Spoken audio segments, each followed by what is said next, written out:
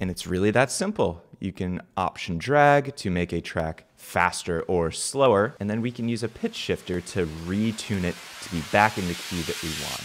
Hello YouTube, today I'm going to be showing you how to slow down, speed up, or otherwise change the speed of audio files in Logic Pro. First thing that we need to talk about is the tempo. The tempo is how many beats per minute that the session is set to. For example, if our track is set to 4 beats, this means there are going to be four beats which have a value of one quarter note per measure. If you have 120 of those beats per minute, that's going to be much faster than if you have 80 beats per minute. I've got this Apple loop here and let's go ahead and play it at 120 beats per minute. I'm going to click it, Command U to put a cycle over that so it'll loop now, if we take a look in our browser, you can see that the tempo for this file is 120 beats per minute. However, something cool about Apple Loops specifically is if we change the tempo, you're gonna notice that this isn't changing its length within the timeline. So if we go down to 80 beats per minute, it's automatically playing much slower. Now let's see what happens if we bring in a third-party sample. Here's a random audio sample that I believe I got off of Splice. You can see the, the default tempo that this was recorded at is 126. You'll notice that when we increase the tempo, you actually see the region growing and shrinking. That's because Logic isn't smart enough to take this non-Apple loop sample and automatically stretch it. So what to do? Let's say we want to take this 126 BPM sample and play it in an 80 BPM track and have it fill two measures. What we can do is go over to the right side. You'll see the cursor start to change. And I'm going to go ahead and hold Option.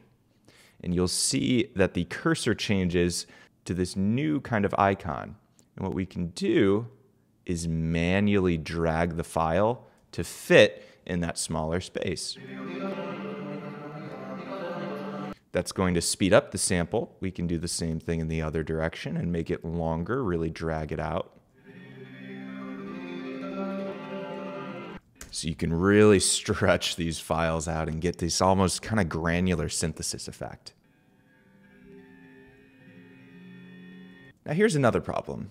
When we speed a track up, it's actually going to change the pitch.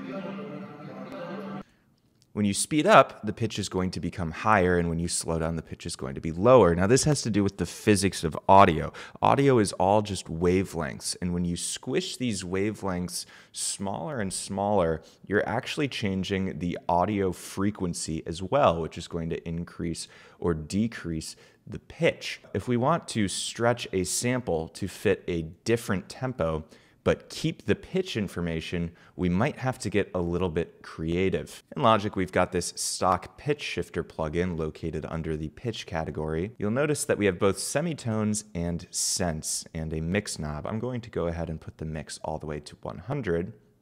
And let's try and just use our ears and put this to the original pitch. Maybe let's get a more pitched sample as an example.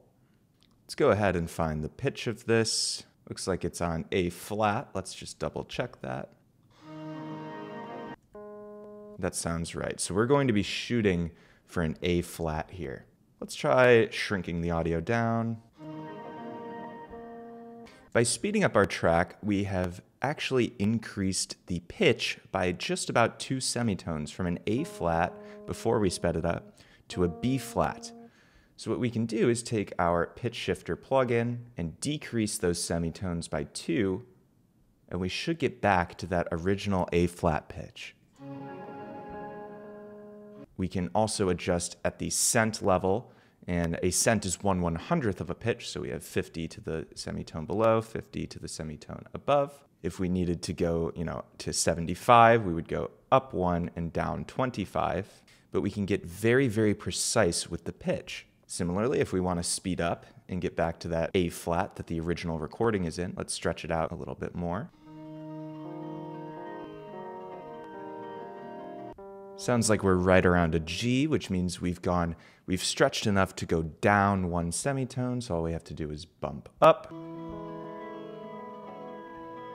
This one's a little bit off. Looks like we need to go a little bit up on the cents. Let's try around 25. A little bit less maybe. And that sounds pretty close to me. And it's really that simple. You can option drag to make a track faster or slower, and then we can use a pitch shifter to retune it to be back in the key that we want. And of course, maybe we want it to sound very slow and distorted or very long and granular sounding. It really depends what you're trying to go for. Now let's go back to our special Apple loop, which is smart enough to retime itself. Now you'll notice that we can't manually retune these Apple loops. What we are going to have to do is bounce them in place to get a new audio region that isn't an Apple loop, and then we're able to retime them just like those third party samples. And that is just about it in this quick tutorial on how to retime audio in Logic Pro 10. I hope this was helpful. Be sure to leave any questions down in the comments below. Like the video if you found it helpful. Subscribe for more Logic and music production tutorials. And until next time, I hope you have a wonderful morning, evening, night, day, whenever you may be watching this. Bye.